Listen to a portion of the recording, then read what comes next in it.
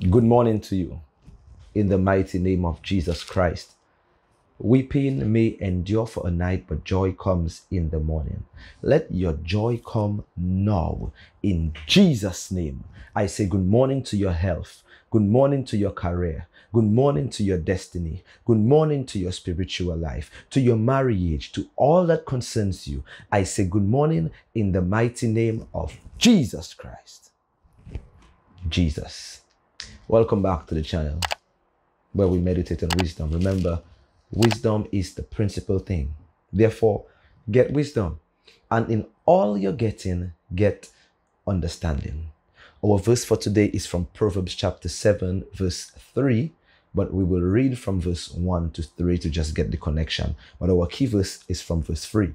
So Proverbs 7 from verse 1 says, My son, keep my words and treasure my commands within you. Keep my commands and live, and my law as the apple of your eye. Bind them on your fingers and write them on the tablet of your heart.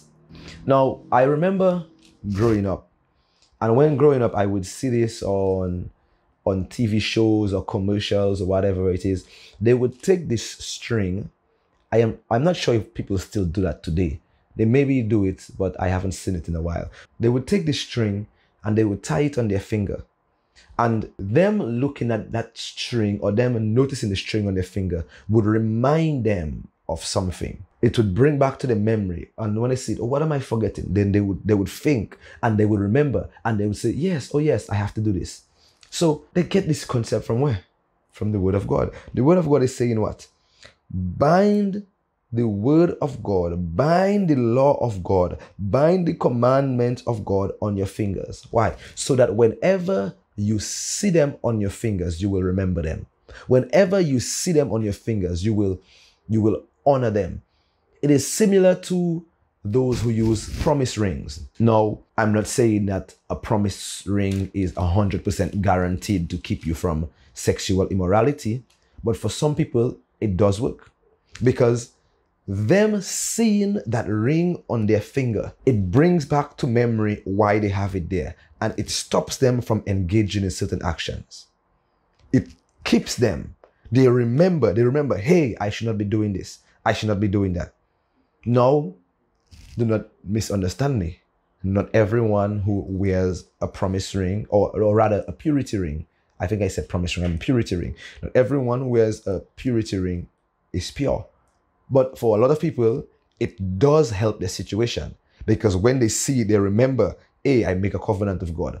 I am going to be celibate. So, yes, it does work. But God say more than a purity ring, more than just a piece of string or a piece of cloth. I want you to bind my word around your finger. Let my word come back to your memory whenever you look at that hand. And not just that, it says, write them on the tablet of your heart.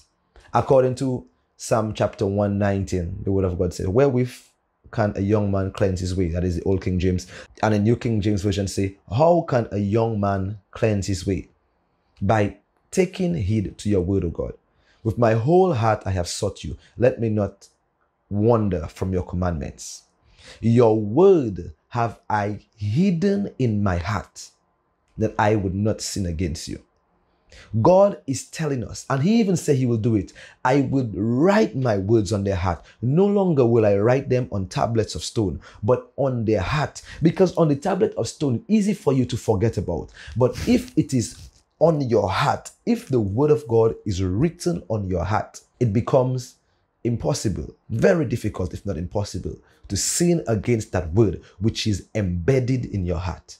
This is what it is. We must have the word of God embedded in our heart that we would not sin against him.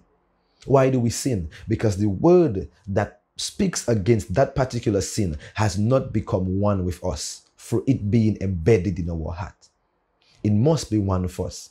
So, what is our responsibility? We have to write the word of God on our heart. How do we do it? By constant meditation, constant meditation, the more you meditate on the word, the more the word of God becomes a part of you. And even as his word says, do not be a hearer of the word only, but be a doer. For he who is a hearer and not a doer is deceiving himself. So while we meditate on the word, we read it to ourselves, we teach it to ourselves, we speak it over and over and over and over. The more important thing is to be a doer. This is what gives the real engraving, the real embedding of that word in our heart.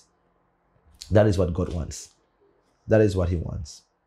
And I remember again in Deuteronomy chapter 5, is it verse 29?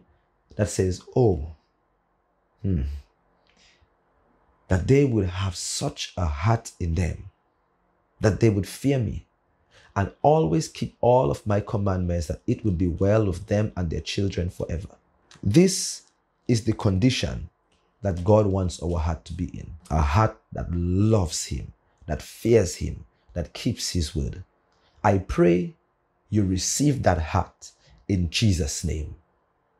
Receive that heart that fears God, that you would always keep all of his commandments in Jesus' name. May the word of God, as you meditate on it day and night, become one with you in Jesus' name. As the word of God said, abide in me and I in you. May this be what is said about you in Jesus' name. Jesus. I thank you all for coming and listening today. This is where we bring our meditation to an end. I say good morning to you and congratulations in Jesus' name. Good morning and congratulations. That promotion has come. Congratulations. That business has opened. Congratulations. Your money has come to you. You are promoted. You are hired. You have been granted that visa. I say congratulations to you. Good morning to you and congratulations in Jesus' name. Jesus. They call me.